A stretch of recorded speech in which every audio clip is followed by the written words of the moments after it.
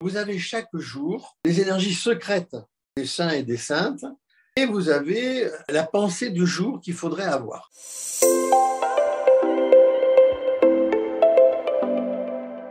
Tu as écrit un éphéméride intemporel, divinisé, qui est une merveille. Est-ce que tu peux nous en dire plus? Quand je l'ai écrit, je n'ai pas cherché à le porter euh, plus que l'éphéméride lui-même. C'est un éphéméride intemporel qui est valable chaque année. Bien sûr qu'il y a des secrets dedans, mais je ne peux pas les dévoiler. Pour que je les dévoile, il faudrait que vous connaissiez, que vous ayez décrypté vous-même ou que je vous ai décrypté la légende dorée, la légende des saints. Vous avez chaque jour les énergies secrètes des saints et des saintes, et vous avez la pensée du jour qu'il faudrait avoir. C'est un travail considérable ça m'a pris. Hein. 365 jours dans une année. Hein. C'est une merveille divine, bien sûr. C'est rendez-vous de, des énergies qui sortent de l'éphéméride du mot qu'il faut prononcer chaque jour, de la pensée.